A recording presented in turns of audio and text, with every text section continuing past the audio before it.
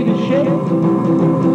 you gotta do, honey, is kinda stand in one spot. Wiggle around just a little bit. And that's when you got it. Yeah. Now let's go one time. Hey, baby.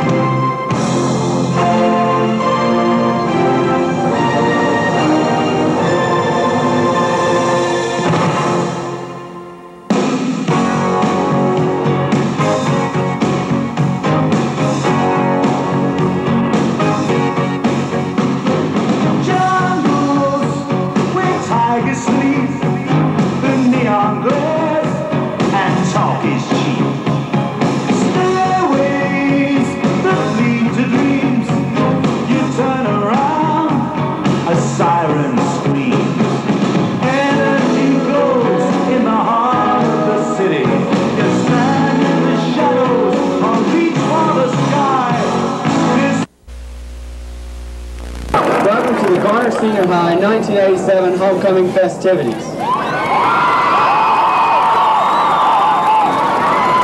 During the past week, we have celebrated homecoming 1987 with the theme Cartoon Creations. From Powder Puff football on Monday evening to the junior varsity football victory on Wednesday night, we have rung in the Trojan spirit. Last night, we capped off our week celebration with a bonfire and a pep rally. Throughout the entire week, throughout the entire week, each class has worked toward completing a winning float. The victorious class will be announced at the end of halftime. Each year, the senior class selects four very special individuals to help with the events of the senior year. At this time, I would like to introduce the mascots for the class of 1988.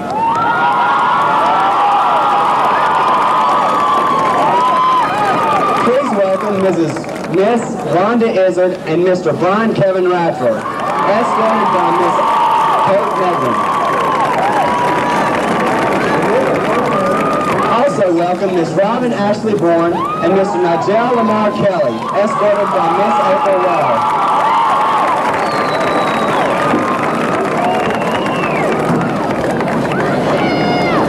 I would like for you to turn your attention to the center of the football field. Please wel welcome the lovely ladies of the 1987 Homecoming Court. Representing the sophomore class is Tina Bynum, escorted by her brother, Mr. John Bynum.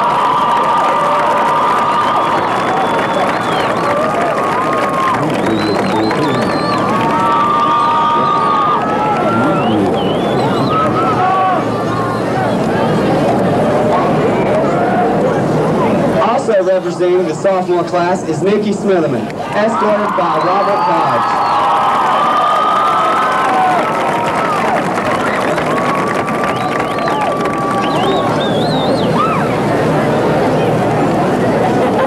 The junior class representatives are Andrea Barefoot, escorted by her father, Mr. Durwood Barefoot.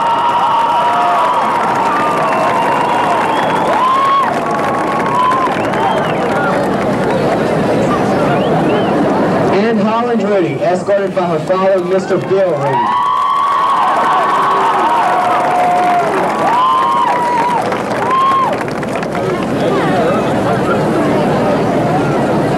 The Garner Senior High School senior class has selected five young ladies to represent them.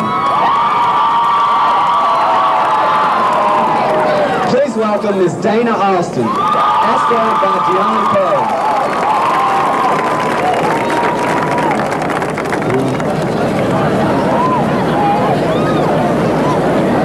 Miss Dana Nix, escorted by father, Mr. Daryl Nix.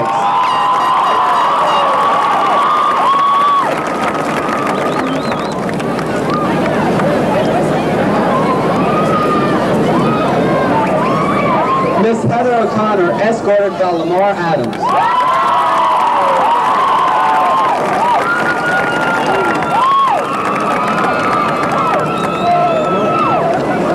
Miss Jackie Spencer, escorted by Donnie Adams.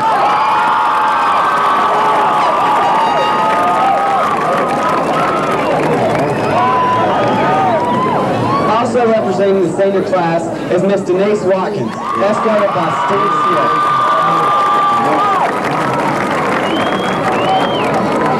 Ladies and gentlemen, I present you the Garner Senior High School Homecoming Court.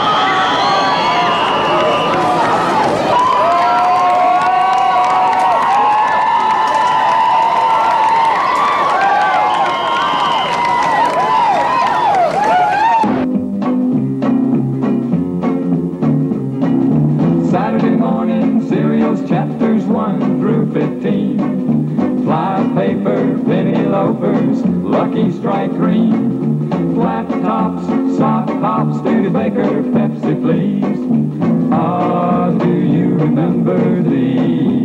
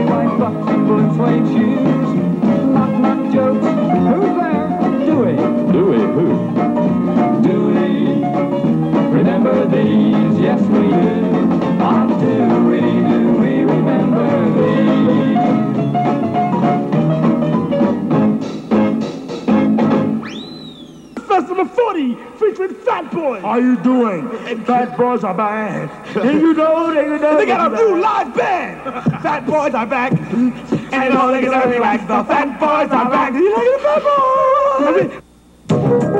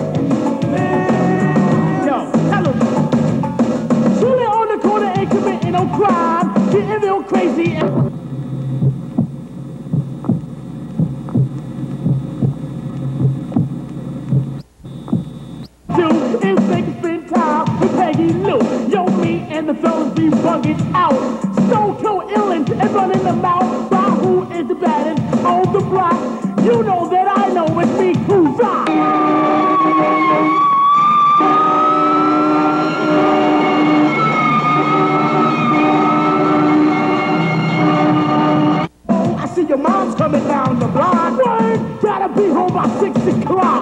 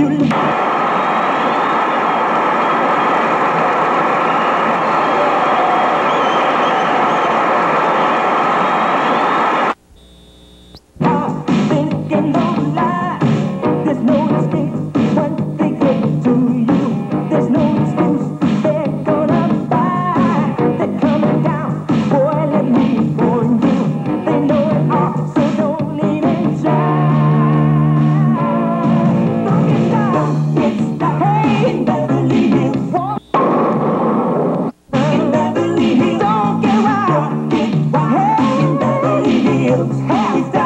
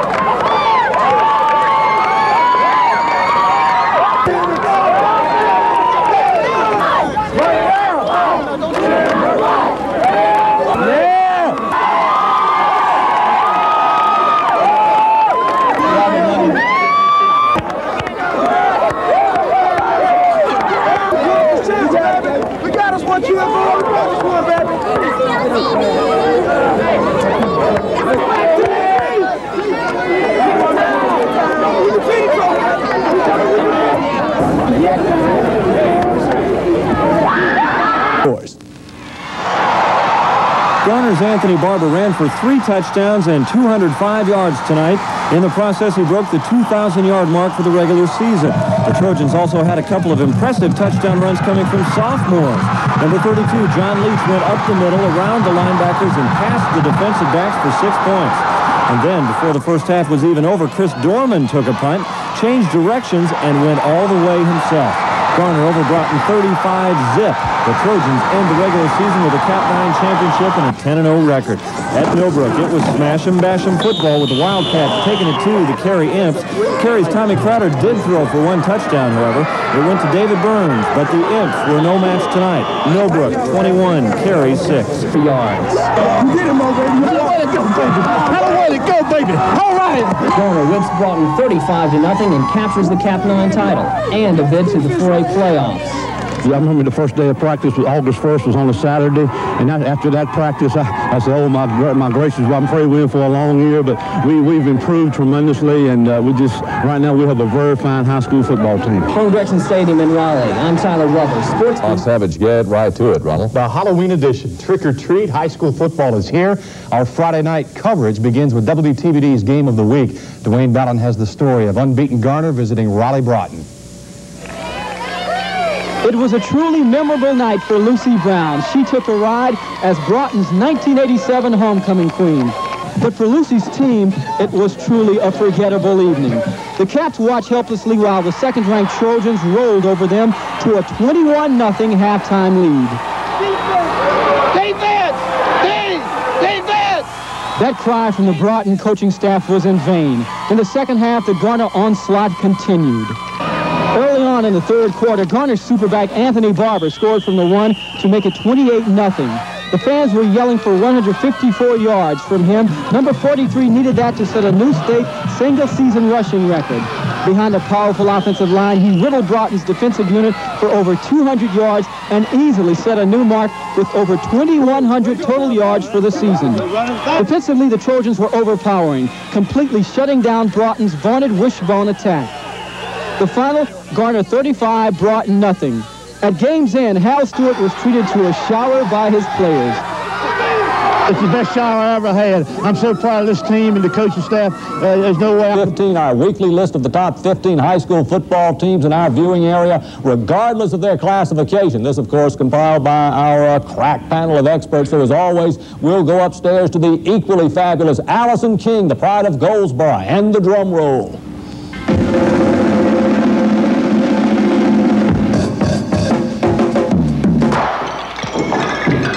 Oops. What was that? now, I told him last week that wasn't, I didn't got tired of that other drum Something different, you got it. All right, Allison, we'll see you after the show. Anyway, still number one as they have been the entire season, the undefeated Garner Trojans. Garner has compiled the regular season, to finish the regular season with a perfect 10 and 0 mark. Here we go. Number one, Garner. Number two is Whiteville. Number three, Northern Durham. Number four, Ahoskie. Number five, Fayetteville 71st. Number six, East Duplin. Seven, Red Springs. Eight, Greenville Rose. Nine, Wallace Rose Hill. And 10 is Fuquay Varina. 11, East Wake. Number 12, James Kenan. 13, Millbrook. 14, Tarboro. And the three-way tie for 15th between Northampton West, Zebulon, and Lee County. Hope your team's going to be there next week. That was a heck of a drum roll, wasn't it? All right.